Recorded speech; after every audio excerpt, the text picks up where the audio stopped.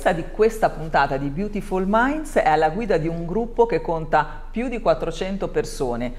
Prima e unica donna eletta alla vicepresidenza di Confindustria Romagna, ma è anche mamma, e eh, mamma di due figli e moglie. E quindi do il benvenuto qui nella saletta digitale di Zani Work a, ad Alessia Valducci, presidente del gruppo Valfarma, holding che eh, opera in tutto il mondo in ambito farmaceutico, nutraceutico e fitoterapico. Benvenuta Alessia. Grazie mille per l'invito, grazie Cristina. Allora Alessia, parto con la prima domanda. Ehm, rifacendomi all'organizzazione di un convegno che c'è stato eh, tempo fa e che si intitolava Imprenditrice, scelta o destino? Perché nel tuo caso ci sta questa domanda. Eh, eh, può essere un destino scelto, nel senso che mh, sono entrata in azienda giovane, appena laureata, ed è stato un cammino eh, di innamoramento eh, e diventare imprenditrice piano piano.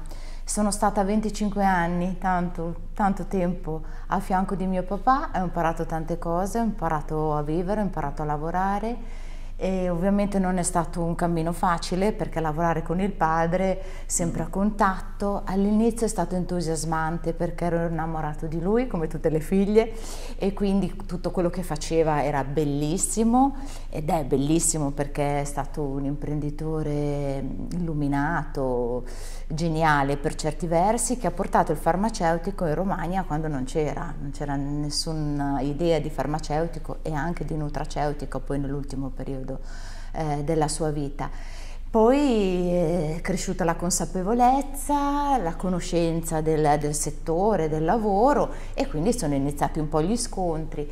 Quindi, eh, quindi un po' di lotte, un po' di tanta, tanta, tanta fatica, però un cammino in salita che poi mi ha portato a, a prendere proprio in mano l'azienda, ad avere il coraggio, un coraggio imprenditoriale eh, pieno di responsabilità ehm, per portare avanti un'azienda che era parte di me, quindi è stato proprio un destino che però ho voluto scegliere. Che volevi, volevi, assolutamente fare, perché leggo poi che comunque tu hai lavorato anche nel settore del turismo, eh, nel corso degli anni sei stata direttrice anche una, del Palace Hotel di San Marino, hai aperto un'agenzia viaggi, quindi anche altre attività. Sì. Queste erano più degli hobby per te, non era la tua vera passione, insomma, sì. questo del mondo dei viaggi? No, beh, il viaggio mi è sempre piaciuto, no? La vita è un viaggio, poi mi piace tantissimo viaggiare, sono curiosa, mi piace conoscere altre realtà con mio papà ho fatto dei viaggi meravigliosi, insieme a mia mamma siamo andati in giro per il mondo, siamo andati in Australia, in Giappone, quindi abbiamo visto veramente tante cose. Io adesso sto continuando a girare, a viaggiare con mio marito e con i miei figli perché mi piace, quindi lavorare anche nel mondo eh, dei viaggi mi è piaciuto. Poi mio papà era appunto geniale, ha fatto tante tante cose tra cui ha aperto anche due alberghi ah, okay. e quindi mi sono ritrovata anche lì per scelta e per destino a fare la direttrice d'albergo adesso abbiamo un progetto quindi l'albergo di San Marino in questo momento si sta chiudendo ma stiamo allargando tantissimo la realtà farmaceutica quindi Valfarma avrà una grandissima estensione in quello che era il Palace Hotel invece l'albergo ah. di Pennabilli che si chiama Duca ha preso invece una via più sociale, abbiamo aperto, stiamo aprendo proprio in questi giorni una cooperativa sociale che aiuterà i ragazzi per il reinserimento nel lavoro adesso che sono in una situazione di messa in, in prova dopo periodi difficili della loro vita. Quindi Bello. uniamo un po' eh, le attività col sociale. Col sociale. Ecco, infatti parlando proprio di, di Valfarma, è questa holding eh, di tre realtà, perché c'è Valfarma Spa, Valfarma International e poi nel 2017 avete eh, acquisito anche il gruppo Erba Vita, conosciamo il brand perché viene eh, distribuito poi i prodotti con il marchio Erba Vita nelle, nelle farmacie parafarmacie, quindi insomma siete una realtà che eh, leggevo dal, dal, vostro sito, avete due stabilimenti, uno di 6.000 m2 e l'altro di 45.000 m2, quindi sì. un impero veramente.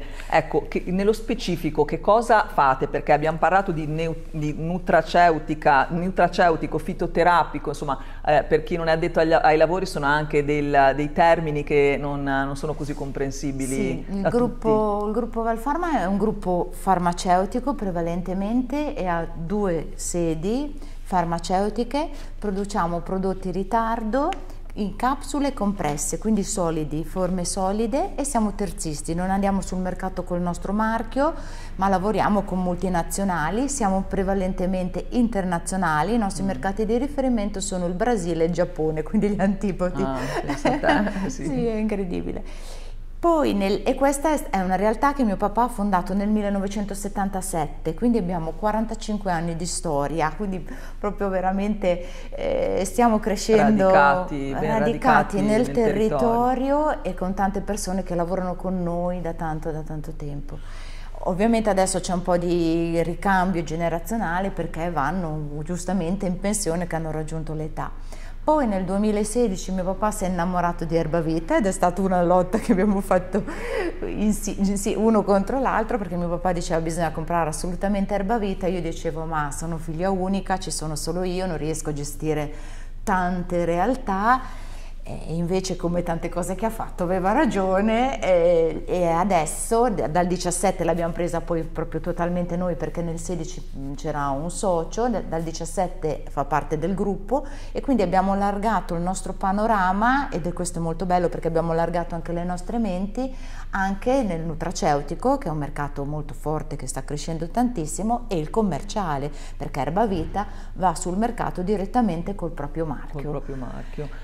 Poi stiamo facendo un'unione sempre più forte perché stiamo unendo il farmaceutico col nutraceutico, quindi molti prodotti eh, fatti, cioè li stiamo facendo con una, con una, mentalità farmaceutica, di prodotti nutraceutici, con mentalità farmaceutica, mettendoci dentro un nostro plus che è il retard. Quindi sono, ad esempio facciamo la vitamina C eh, a rilascio controllato che si rilascia, che dura 12 ore nel, nel, nostro organismo, quindi anche il nutraceutico si sta avvicinando tanto più alla, alla nostra, nostra, produzione quotidiana. Bello, interessante.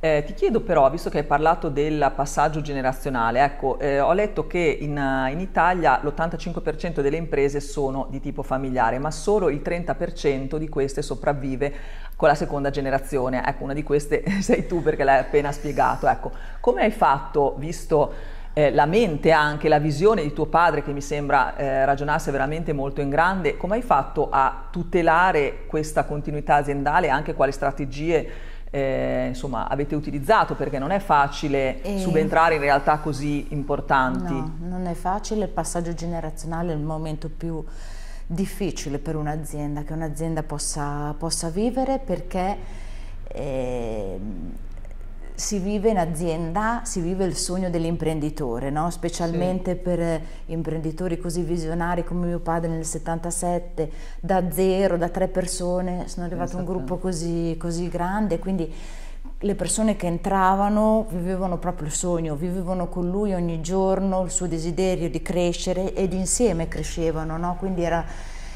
ancora adesso mi dicono Valducci faceva così, facciamo così, certo lo facciamo e dopo lì scatta e anche per me io ho vissuto con lui 25 anni di sogno, di sogno. adesso è un sogno che, che continua, no? continua nella mia figura, io l'ho vissuto con lui quindi è un sogno che perpetua eh, io adesso vivo nel suo ufficio, cioè ho ereditato anche il suo ufficio, quindi vivo anche respiro, quello che viveva lui ed è una cosa bellissima per una figlia, almeno per me è molto bello e, però non è, cioè i suoi sogni in parte si sono realizzati, quasi tutti, perché è stato bravissimo e noi siamo bravi a portarli avanti, adesso ci sono dei, i sogni continuano, no? Quindi Ma tu sei aiutata mettiamo... da dei manager, sì. cioè, co- come eh, noi abbiamo, a, a abbiamo dal 2016 quando ho preso in mano l'azienda, abbiamo cambiato la, la, il, il, proprio c'è stato un cambiamento oltre generazionale, ma anche no, non è più un'azienda familiare, cioè è familiare familiare, però, perché insomma, ovviamente però avete... abbiamo dei manager eh. e stiamo cercando di formare sempre più le persone che lavorano con noi mm. per diventare manager, per essere sempre più coraggiosi, con sempre più voglia di fare, ovviamente con un obiettivo finale sempre più alto e sempre rivolto verso la crescita. Sono passaggi non facili, io già sto pensando a quello dei miei figli perché, eh, perché eh, ripeto, non è facile. Saranno la sono... terza generazione speriamo. Sono perché... destinati, ma spero, spero Anche per loro per, sarà un per destino voi. scelto perché vediamo quello che vorranno fare, con quanta forza, perché ci vuole tanta Esatto. forza per Mm. volerlo fare, con quanto, quanto, quanta dose di coraggio ci metteranno, quanta dose di responsabilità, perché bisogna, noi facciamo farmaci, ci vuole, ci vuole la ricetta proprio giusta per Certo. essere eh, nel- nella condizione giusta per fare bene il proprio lavoro, questa è la cosa. Senti, e quante, sempre- ore, quante ore al giorno lavori tu? Ma io non smetto mai. Lavori- Perché ti volevo fare la domanda sulla conciliazione, visto che si parla tanto di conciliazione, ho detto che tu hai anche appunto due figli, eh, poi insomma eh, sei amante dei viaggi, quindi eh, come fai Sì, a conciliare sì, poi- tutto? poi ho tante E hai attività. tanti incarichi perché lo vedo nel curriculum, dall'Ions insomma... No, questo perché mi diverto. Cioè, io da, da mio papà ho imparato a fare le cose divertendomi. E quindi eh, tutto quello che faccio ci metto una buona dose di passione. Ho deciso nella mia vita che se una cosa non mi, non mi piace, non mi diverto o, o trovo qualcosa che non va, non, non fa parte del mio, del mio DNA. Purtroppo mi piace tutto, cioè tutto quello che faccio mi... Beh, già questo è bello perché lo fai senza Sì, sacrifici. No, è brava, non è un sacrificio, non è un sacrificio. Ehm, allora, la missione di crescere i miei figli è stato, mi ha eh, ovviamente allontanata da tante cose perché mi sono per anni, mi sono dedicata giustamente a loro, però sono riuscita insomma a- adesso, perché adesso hanno quasi 21 e 18, uno all'università, l'altro ci andrà l'anno prossimo e lì dopo avrò il, no- il nido vuoto e vedremo cosa Esatto. succede. Eh, però a, a creare anche in, anche in loro tanti, tanti interessi, tante curiosità, no? perché così si va avanti. E sei anche presidente di una società sportiva, la New Rimini Baseball and Softball, quindi sei un'appassionata di, di softball, di questo sport? Sì, sì, il baseball è per o i ti hanno ragazzi... chiesto di sponsorizzarla? allora, lì è stata una, anche lì una passione, che questa però l'ho ereditata dai miei figli perché Ah. quando erano piccoli giocavano e quindi sono entrata piano piano in quel mondo. M- mio figlio grande continua a giocare, Ok. continua a metterci tanta passione, tanto entusiasmo, quindi sono diventata un po' la mamma di tutti i ragazzini che giocavano lì. Poi quando Rimini, Rimini Baseball è riuscito ad andare in Serie A e quindi abbiamo fondato questa società che si chiama New Rimini Baseball e mi hanno chiesto di diventare presidente per accompagnarli in questa esperienza di Serie A. Siamo stati in Serie A due anni, l'anno scorso non ce l'abbiamo fatta, siamo tornati in Serie B, quindi adesso ad aprile inizia il campionato in cui saremo in Serie B, però cercheremo di andare in Serie, Serie A. A, è un cammino anche quello. anche insomma. quello è un altro impegno. Allora, ho letto anche che tu ehm, hai sempre fatto della valorizzazione delle donne uno dei tuoi punti di forza e tra l'altro sei una delle, eh, l'abbiamo detto nella tua presentazione, sei una delle, sei l'unica donna all'interno dei vertici di, di Confindustria, sei vicepresidente di Confindustria, quindi già questa è una soddisfazione. Sì, Ecco, sono molto onorata. però siamo ancora troppo poche, cioè eh, una, una donna eh, in mezzo a così tanti uomini, nonostante insomma le, le quote rosa, c'è ancora molto da fare, cosa dici? Eh sì, sicuramente, anche lì bisogna metterci un passettino dietro, dietro l'altro, con con tanto coraggio, con tanta determinazione. C'è questo gap che si parla di 132 anni, che è un'enormità per raggiungere lo stesso livello professionale, professionale no, perché abbiamo più ingegneri e più medici donne, nel futuro avremo sicuramente nel giro di qualche anno più figure professionali femminili forti, però c'è questo, questi 132 anni che sono un'enormità, no? Quindi attraverso, io spero, il nostro esempio, no? il nostro mettersi in gioco, di incoraggiare tante donne a prendere più fiducia in se stesse, ad avere veramente più determinazione, ad accettare anche ruoli, perché bisogna proprio avere, ripeto, il Eh, coraggio ad accettare certi ruoli. Io certo. vedo in azienda che certe donne dicono no, io preferisco di no.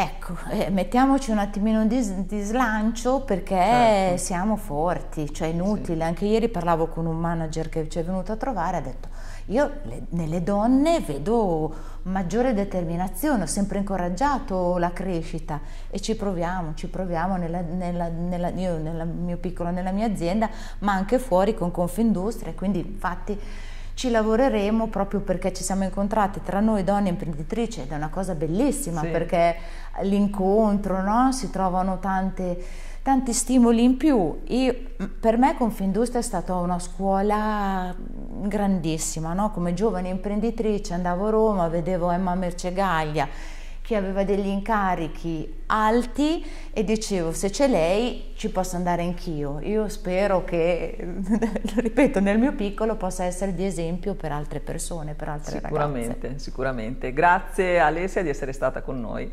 Grazie, grazie Cristina, grazie.